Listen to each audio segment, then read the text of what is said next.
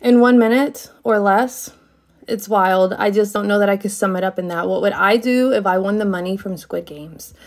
Um, I would tell you I would definitely help my family. We lost my mother in um, at Easter time this year.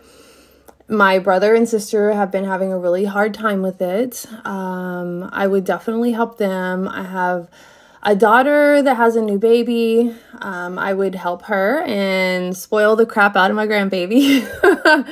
also, um, I lost my son um, when he was 13. His heart stopped beating. I would definitely start a memorial fund to help parents that have lost children because that was the hardest time of my life and i know that they desperately need it because when you lose a child it's hard for you to sit there and think that i need to go to work because i need to feed my other children or i need to go to work to pay my bills. The world does not stop. So i would love to start a foundation that could help parents that lose children.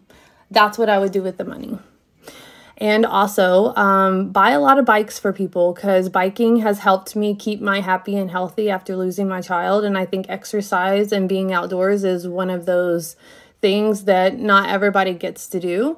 Um, that's what i would do. If i was selected thanks